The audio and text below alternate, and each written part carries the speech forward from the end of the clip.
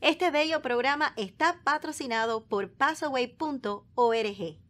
Les presento amigos a Passaway.org, una plataforma digital con un diseño especializado para plasmar fotos, videos y mucho más con el objetivo de recordar con amor a tus seres queridos. Haz de Passaway.org un lugar donde aguardar esos momentos inolvidables, las historias de vida, celebrando los recuerdos en Passaway.org, el lugar de tu familia. Les damos la bienvenida a Cadena de Vida. Tenemos un tópico muy interesante para todas las mujeres y los varones también los incluimos. La mujer guerrera en la vida. Tenemos una invitada vía Skype desde Mendoza, Argentina, la pastora, profeta Rosy Di Julio. Se encuentra con nosotros. Muchísimas gracias, pastora, por acompañarnos, estar con nosotros con un tema tan interesante, tan motivador y tan importante para que la mujer se levante, tome el rol que le corresponde y el mandato que Dios nos ha dado, porque amamos tanto la familia, a los hijos, a los esposos, y qué lindo poder ejercer de una forma con sabiduría. Así es. Bueno, muy buenas tardes, contenta de estar con ustedes, conectadas.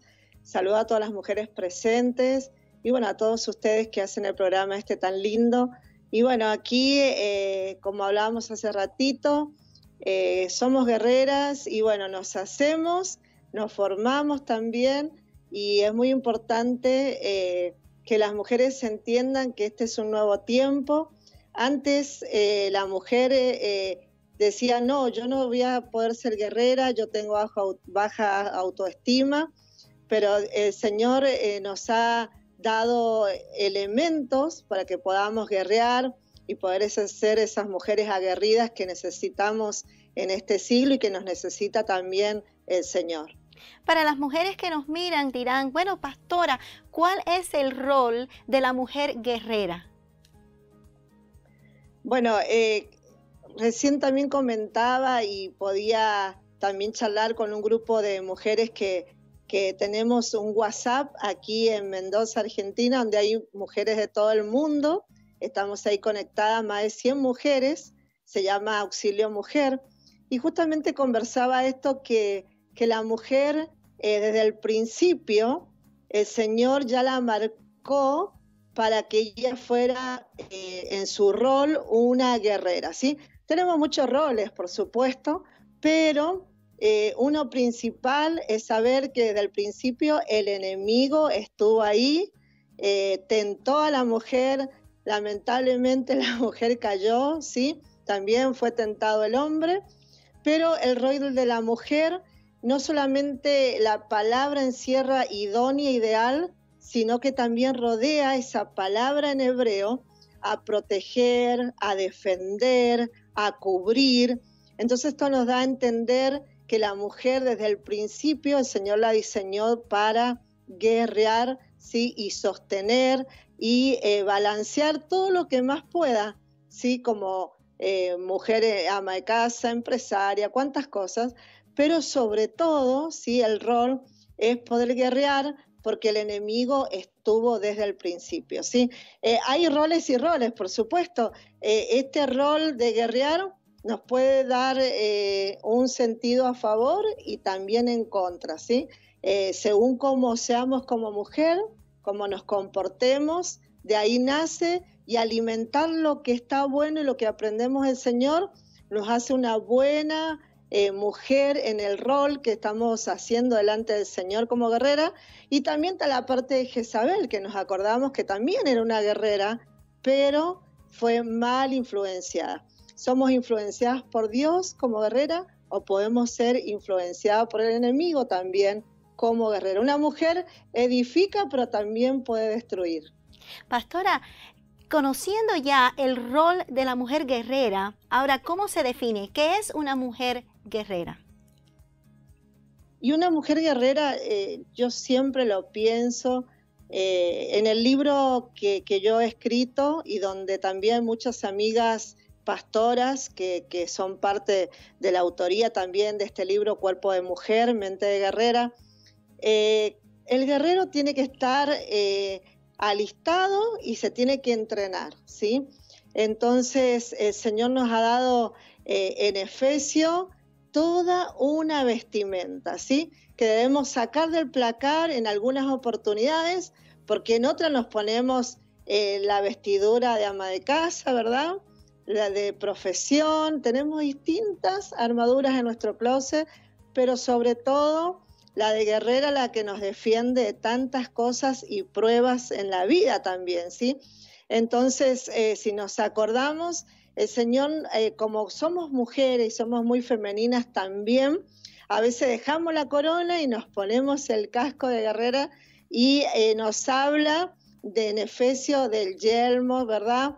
De la fe, de, nos habla del Evangelio, nos habla de la esperanza, nos habla de todo lo que tiene que ver con las armaduras que todos conocen ya en Efesio y que es muy lindo, pero sobre todo el guerrero se tiene que formar de fe, de fe, ¿sí? Porque lo que no vemos, ¿sí? Ya lo confesamos y lo creemos como guerreras que somos. Pastora, son palabras de autoridad porque siendo pastora, profeta y autora del libro, le da la habilidad de ver las cosas con una lupa y nos puede hablar de las profundidades de la palabra, pero también de las experiencias de tantas mujeres que me imagino que ha tenido la oportunidad de traer esto a conversación. Ahora, la mujer en el matrimonio es algo muy importante para poder llevar y conllevar la familia y especialmente que siga unida. Eh, sobre todo en el matrimonio, eh, si la mujer no tiene ayuno y oración, no es guerrera, por empezar que es una de, las armas. Recién hablé que del closet sacábamos eh, la vestimenta para guerrear, ¿sí? Como soldado, pero un soldado sin armas es imposible que pueda ganar, ¿sí? La victoria. Y una de las armas que, tenemos en el matrimonio es la oración, es el ayuno, el, agarrarnos de las promesas del Señor, porque son los dardos que vamos a tirar al, enemigo. Y bueno, en medio del matrimonio sabemos que hay muchos conflictos, no somos iguales, aun cuando nos casamos, como dije recién, cuando hablamos de ideal, de idónea, no es solamente que seamos tan iguales o que concordamos con los mismos gustos como matrimonio, pero sí nosotros estamos llamando para, llamadas para rodear, llamadas para sostener, para eh, ser un escudo alrededor de nuestro matrimonio y bueno, con astucia y con mucho cuidado también, porque recién también nombré a Jezabel y Jezabel en su matrimonio influenciaba mal, ¿sí? Que seamos esas mujeres guerreras que en el matrimonio influenciamos a nuestro marido a que ellos crezcan, a que sigan adelante, a que podamos levantar sus brazos y que bueno, en medio del matrimonio seamos uno, pero que la mujer también use la astucia a favor y no para perjudicar su matrimonio, sacando por supuesto y creciendo junto, comprenderse, pero sobre todo em, e, entender que el varón no piensa igual que la mujer y que nunca se va a poner en el papel de nosotras ni nosotros y nosotras en el papel de ellos, ¿sí? Siempre tomando autoridad, pero siempre con un balance, ¿sí? Eh, aquí hay un, hay un chiste muy, muy divertido, eh, muy feminista, que dicen que el hombre es la cabeza, pero la mujer es el cuello. Entonces, como que lo maneja. Y bueno, no, no está bueno, está bueno que seamos influencia, pero que el hombre también decida eh, tomando el sacerdocio y bueno, y sobre todo cuidando el matrimonio en esta generación, en la, en la parte tan difícil que estamos viviendo y eh, tener cuidado también proteger, estar atenta con nuestras antenas a todo lo que nos tienta y puede también debilitar nuestro matrimonio. Gracias, pastora. ¿Qué mujeres en la Biblia la han impactado como ejemplos? Bueno, las mujeres que, más me impactaron eh, eh, en la Biblia, aunque son muchas, pero las que más destaco es Débora, quien eh, llevó adelante eh, la victoria, aunque había muchos guerreros, hombres, y en aquel tiempo era un tiempo también muy, que, muy machista, por decirlo, ¿sí? Porque el hombre era mm, el sacerdote, el guerrero frente a la batalla, y en esa oportunidad el Señor dio la victoria a Débora. Y también eh, reconozco mucho las hijas de Zelofejad también, que pierden la descendencia, la dote y todo lo que venía para ellas. Y bueno, ellas se acercaron a Moisés con mucho temor también, porque en aquel tiempo la mujer no, no podía reclamar su herencia como tribu ni como nada, sino el hombre.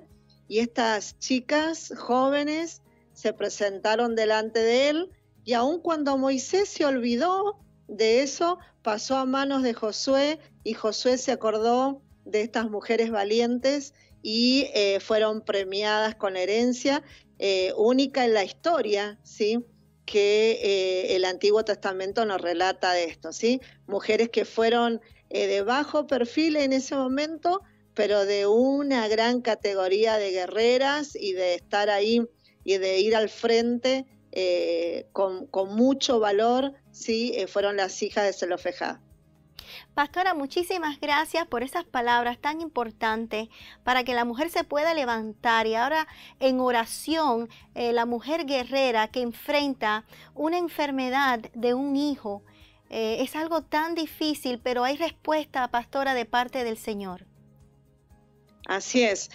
yo siempre cito el Salmo 77, 2 que dice, invocaré al Señor con todas mis fuerzas, con toda mi voz, ¿sí?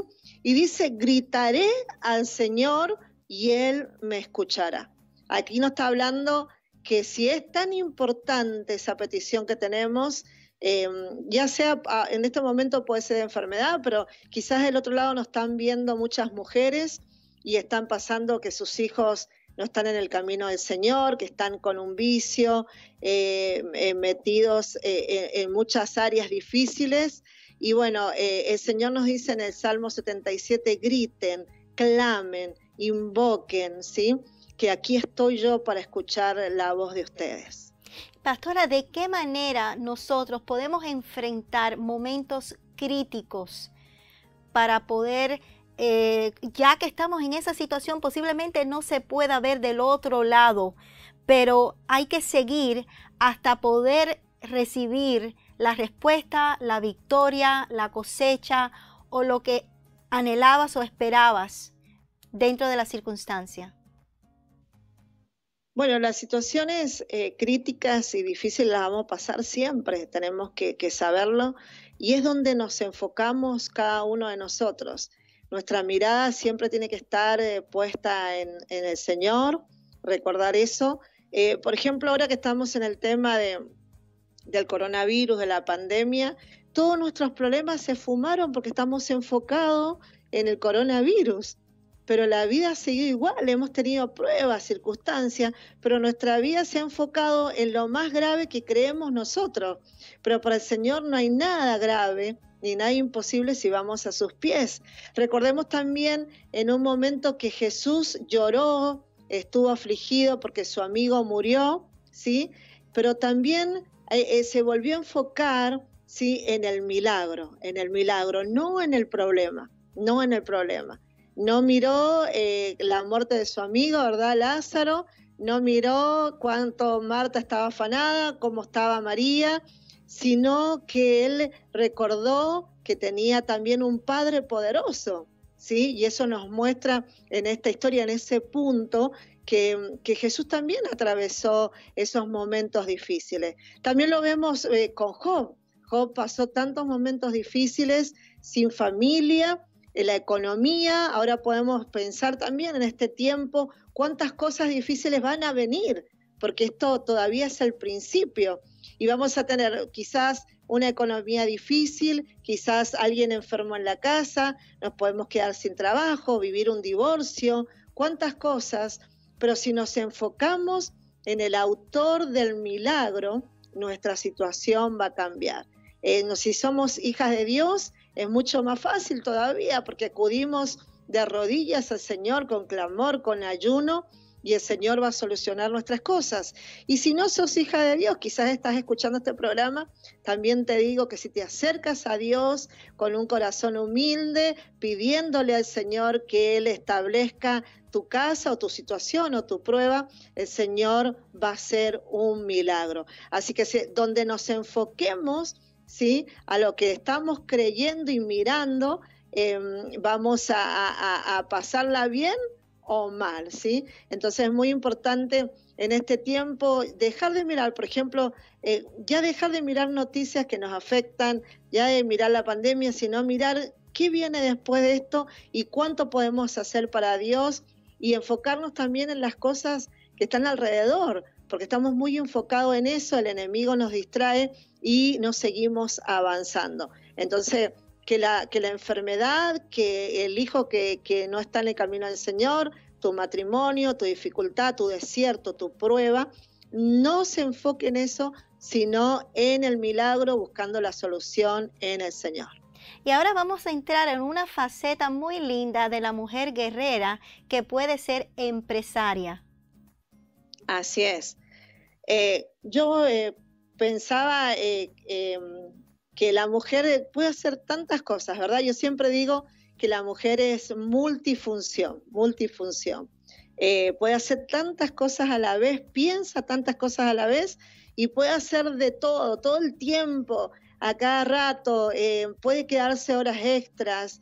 Y mm, pensaba en la, eh, en la mujer empresaria, en la palabra del Señor, ¿verdad? Porque siempre de ahí tenemos los grandes ejemplos y recordaba la, mujer virtuosa, ¿sí? que habla en Proverbios 31. No solamente eh, es lo, simple que vemos cuando la leemos, sino que vemos una mujer que era ama de casa, que era cocinera, que era eh, modista, porque hacía las ropas para todos, atendía, era servidora, pero sobre todo, algo tremendo en esos tiempos, ella era empresaria ella se iba a los mercaderes, ella negociaba también, ¿sí? Como dicen por ahí, hasta seguro que regateaba, bajame el precio, que esto, que lo otro, y estaba entre medio de, de, mercaderes, de empresarios, y ella tenía su lugar. ¿Sí? Y ella llevaba los negocios hacia adelante, ella proveía, ¿sí? De, de, todo lo que podía hacer y que estaba al alcance de sus manos y también dice que hasta recibía a su esposo con todo lo que ella hacía. Así que, ¿cómo no va a ser la mujer guerrera en este tiempo una gran empresaria si ahora tenemos más posibilidades que en ese tiempo de la palabra y tenemos para hacer tantas cosas como mujeres empresarias, profesionales y más con toda la facilidad que nos da esta generación. Me da mucho gusto hablar con usted, pastora, porque usted es una mujer guerrera, una autora. Y yo quisiera tomar esta oportunidad del programa para que nos hable de su libro, eh, también de su iglesia y todo lo que tenga para que nosotros conozcamos más de su ministerio. Bueno, el, libro mm, Cuerpo de Mujer, Mente Guerrera nació por este grupo de auxilio mujer, WhatsApp, donde estamos tantas mujeres que oramos diariamente, estamos ahí como enfrascadas, pero salimos hacia afuera. ¿Y por qué digo que salimos hacia afuera? Porque cada año eh, Dios me dio la gracia de poder dirigir y llevar a cabo un congreso de mujeres, que lo hacemos en octubre todos los años, que asisten más de 300 mujeres y eh, tenemos en ese momento eh, palabras, juegos también, eh, testimonio, bueno, un congreso muy, muy lindo donde nos visitan de, todo el mundo. Este año con, con, el tema este del virus, lo vamos a hacer también en forma mm, digital, no va a ser como lo hacemos presencial eh, porque las autoridades todavía no nos dejan, ¿verdad? Pero eh, va a ser online el Congreso, así que bueno, estás invitada eh, para que puedas también en ese día mandarnos un saludo o lo que el Señor te dé. Y bueno, las mujeres también están invitadas también, pueden buscarme en Facebook Roxy Di Julio, ¿sí? Eh, pueden buscarme ahí o en Instagram también con el mismo nombre, Roxy y Julio, y estaremos transmitiendo. Eh, eso es parte del libro Cuerpo de Mujer, Mente Guerrera, a partir de ese congreso, a partir de este WhatsApp, donde hay tantas mujeres y amigas que exponemos por día y temas. Y bueno, quiero darle gracias a Dios porque parte también de esas mujeres son em, congregación nuestra, de nuestra iglesia que, fundamos con mi esposo Quindy Julio, el pastor Quindy Julio, y eh, las mujeres de Catedral Mendoza. Catedral Mendoza es nuestra iglesia, eh, una iglesia muy linda, muy servicial, y, bueno, esa es parte de nuestra vida. Y, bueno, eh, somos también cantantes, adoradores, ¿sí? profesores de música, así que bueno, damos gracias a Dios por lo que el Señor ha depositado, ¿verdad? Sin merecerlo, el Señor depositó distintos talentos y podemos disfrutar de esto. Pero lo que más eh, me, destaca a mí y que puedo eh, eh, llevar más fuerte, llevo la alabanza en mi iglesia, podemos enseñar, pero lo que más destaco en mí es el Congreso este de Mujeres que Brillan, se llama, todos los años, y sobre todo este grupo de amigas guerreras eh, de auxilio mujer, donde el Señor me llevó a poder escribir el libro, que aquí lo tengo en mis manos para que lo puedan ver, Cuerpo de Mujer, Mente de Guerrera, que también está digital. Muchísimas gracias, pastora. Un saludo al pastor Julio. Muchas gracias a su congregación. Le enviamos también muchos saludos de parte de todos nosotros. Esta es su casa. Vamos a seguir trayéndola acá al programa para que nos siga eh, llevando y conllevando con mensajes muy importantes e interesantes para las mujeres y también para los varones, porque viendo las mujeres, eh, las esposas, los cónyuges, prosperando, pues los esposos también como que se unen a esa prosperidad y, a ese fluir de vida eh, que los lleva a ellos a grandes cosechas y a cumplir los propósitos de Dios para ambos. Muchísimas gracias. Y ahora, bueno, hemos llegado al final del programa. si quiere, puede tener algunas breves palabras. Bueno, quería agradecerle, eh, tuve la oportunidad de estar con ustedes en Miami, en Espolit, eh, la verdad que es un placer. Eh, tengo unas fotos, acá decimos con vos en vez contigo. y con vos, sí, y que estuvimos ahí en, en Espolit disfrutando, así que es un gusto. saludo a todas las mujeres que, que se conectan, que están presentes. Y bueno, sobre todas las cosas, recuerden que mm, si hay algo de bajo estima en nosotros, que el Señor nos ha dado un espíritu de poder, de dominio, de amor, ¿sí? Sobre todas las cosas, para que entendamos el lugar donde el Señor nos ha puesto siempre. No es de ahora que, tomamos la rienda o que somos guerreras, sino del principio de las escrituras. Recordemos eso, somos mujeres idóneas para proteger, para hacer escudo, para rodear, ¿sí? y para edificar. Así que un abrazo, muy contenta de ustedes, de, lo que me han eh, invitado, los que me han invitado en este programa. Y bueno, muchas gracias porque detrás de, todo esto hay cámaras y cuántas cosas y cuántas personas detrás. Así que un saludo especial de parte mía y de mi esposo, el pastor Quindy Julio.